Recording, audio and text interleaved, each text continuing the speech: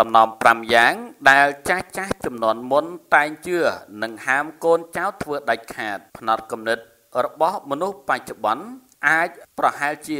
មិនសូវជឿលើរឿងបែបអបិយជំនឿខ្លាំងដោយចាស់ចាស់កាលពីសម័យមុននោះទេក៏ប៉ុន្តែស្របពេលដែលយើងមានទស្សនៈផ្សេងជំនឿលើវិទ្យាសាស្ត្រក្នុងនោះយើងក៏មិនអាចប្រមាថបានដែរ ដូចជាជំនឿតាមបែបចាស់ចាស់បុរាណលោកតែងតែប្រកាន់ដំណំទាំង5នេះជាខ្លាំងតើដំណំទាំង5នោះមានអ្វីខ្លះទៅ ទី1ដំណំក្នុងការសែនជំនាញផ្ទះចាស់ចាស់បុរាណតែងតែហាមដាច់ខាតកុំឲ្យកំពប់ជើងធូកឬមួយក៏មានអាណាម្នាក់មកដកជើងធូកចេញឲ្យសោះព្រោះថាពួកគេនឹងធ្វើឲ្យជួបតែរឿងក្តៅក្រហាយ ឬមួយក៏ពួកគេអាចចេញមកលេងបន្លាច អ្នកទាំងអស់គ្នាក៏ថាបានព្រោះជំនាញផ្ទះអាចលងខុសពីខ្មោចព្រាយបិសាចពួកគេគឺអាចចេញមកបង្ហាញខ្លួនឲ្យយើងឃើញស្រស់ស្រស់និងភ្នែកច្បាស់តែម្ដងម្យ៉ាងវិញទៀតសម្រាប់សំណែនខ្មោចក៏ដូចជាក្នុងពេលដែលចូលឆ្នាំចិន មានបងប្អូនមួយចំនួន ចូលចិត្តរំលែកបាយមហូបខ្លះខ្លះដាក់ចោល ដើម្បីឲ្យពួកខ្មោចអនាថាបានបរិភោគតែយើងមិនដឹងទេថាការដែលធ្វើបែបនេះដូចជាបើកដៃឲ្យពពួកខ្មោចទាំងអស់នោះចូលក្នុងផ្ទះរបស់យើងអញ្ចឹងដែរហើយពពួកខ្មោចទាំងអស់នោះក៏នឹងធ្វើការលងបន្លាចផ្សេងផ្សេងទៅកាន់ម្ចាស់ផ្ទះធ្វើឲ្យការរស់នៅមិនបានសុខនោះទេដូច្នេះប្រសិនបើលោកអ្នកមិនដែលសែនព្រេន ឬមិនចេះពីរបៀបក្នុងការសែននោះ សូមកំសែនជាវៀងនាំឲ្យខ្មោចចង្រៃចូលផ្ទះផងដែរមួយវិញទៀតចំពោះការធ្វើពិធីក្រុងពាលី ឡើងផ្ទះថ្មី ប្រសិនបើអ្នកមិនដឹងពីរបៀបសែននោះទេ សូមកំសែនអីល្អជាងជៀសវាងក្នុងការសែនខុសព្រះប្រាស់នាំឲ្យសិរីមង្គលមិនល្អបែរជានាំកើតមានគ្រោះចង្រៃឥតឈប់ឈរទៅវិញ ហើយវាអាចកាច់នាំឲ្យគ្រោះថ្នាក់ដល់អាយុជីវិតក៏ថាបាន ទី2ដំណំហាមអុជធូបទៀនមួយដើមក្នុងផ្ទះចាស់ចាស់បុរាណហាមដាច់ខាត ក្នុងការដុតធូបទៀនមួយដើម ក្នុងផ្ទះហាមដាច់ខាត ប្រើទៀនពណ៌ស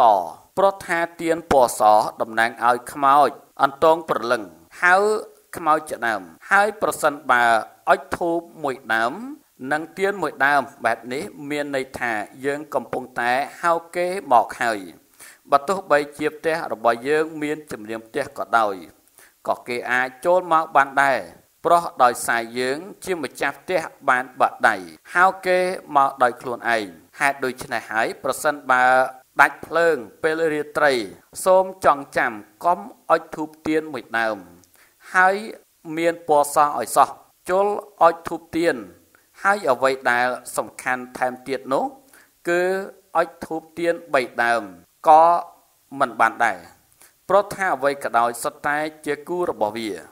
ក្នុងនោះចាស់ចាស់នៅតែមានជំនឿប្រសិនបើដុតទៀន3ដើម អាចនឹងនាំឲ្យអ្នកនៅក្នុងផ្ទះមានគ្រោះថ្នាក់ដល់អាយុជីវិត ចំពោះជំនាញផ្ទះកាលណាបើយើងដុតទៀនពណ៌សមួយដើមបានន័យថាបើកដៃឲ្យខ្មោចចូលហើយ ដូច្នេះជំនាញផ្ទះក៏យល់អធិស្ឋានចំពោះម្ចាស់ផ្ទះដែរបើម្ចាស់ផ្ទះអនុញ្ញាតជំនាញផ្ទះក៏មិនហ៊ានថាអីដែរទី3ដំណំជន់ពេពេនិងកន្តងខៀវមានលក្ខណៈខុសគ្នាត្រង់ថាពេគឺគេដាក់សែនសម្រាប់ប្រលឹងខ្មោចរីឯកន្តងនោះគឺ សម្រាប់ដាក់សែនឲ្យកន្តងខៀវតែប៉ុណ្ណោះនៅពេលដែលយើងដើរទៅតាមផ្លូវជាពិសេស ពេលយប់ហើយបានឃើញកន្ទងខៀវដែលគេយកទៅសែននៅតាមផ្លូវដាច់ខាតកំទៅប៉ះពាល់ដើរកន្លងផុតទៅ ហាមដើរជន់ឬនោមដាក់ឲ្យសោះហេតុផលដែលចាស់ចាស់មានជំនឿបែបនេះ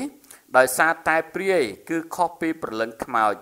និងខុសពីខ្មោចអ្នកតាជាដើមព្រាយមានអត្តពលខ្លាំងក្លា ដែលអាចកាច់ធ្វើឲ្យមនុស្សស្លាប់បានមួយរំពេច ឬលងបន្លាចធ្វើឲ្យអ្នកជឿរហូតដល់ស្លាប់ក៏មានដែរម្យ៉ាងវិញទៀតប្រលឹងព្រាយទាំងនោះ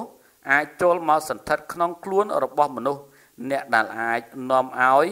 ដែលអាចនាំឲ្យអ្នកទៅធ្វើអ្វីរឿងផ្ដេសផ្ដាសដូចជាលោតទឹកសម្រាប់ខ្លួនជាដើមទី4ដំណំគូស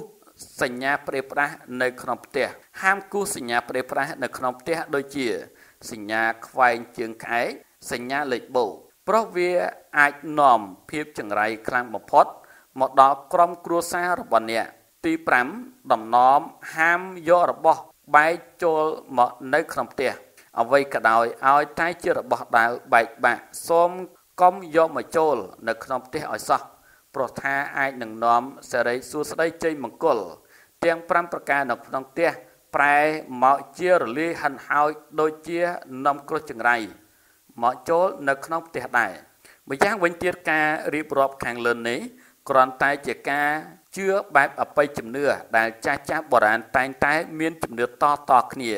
តាំងពីបុរាណកាលមកហើយជំនឿទាំងអស់នេះក៏នៅតែមានការប្រកាន់ខ្ជាប់គ្រួសារមួយចំនួន នៅតាមតំបន់ផ្សេងផ្សេងផងដែរដល់ឡែកសម្រាប់ការជឿឬមិនជឿគឺអាស្រ័យទៅលើលោកអ្នកតែប៉ុណ្ណោះ ព័ត៌មាននេះត្រូវបានបញ្ចប់អរគុណណាស់សម្រាប់ប្រិមិត្តអលបានស្នានឹងតាមដានជាមួយ NC Channel ដើម្បីទទួលបានព័ត៌មានផ្សេងផ្សេងថ្មីថ្មីជារៀងរាល់ថ្ងៃសូមប្រមិត្តចែក Subscribe ឬជាវនិងរូបកណ្ដឹងអរគុណសូមជម្រាបលា